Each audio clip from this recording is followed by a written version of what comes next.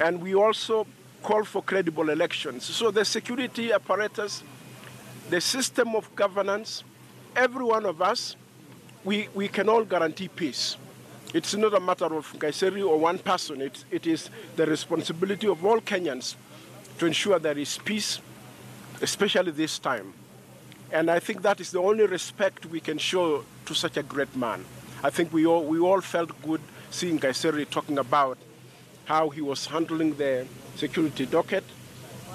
And so that is the only tribute to him, that, that we remain calm, we remain united as a country, and, and then we basically deal with this pain and, and loss. Very much. Yeah. Thank you. Are we also joined live by uh, Kajiado Women Representative Janet uh, Letei, probably Mheshimiwa, The unaweza kutuelezea uh,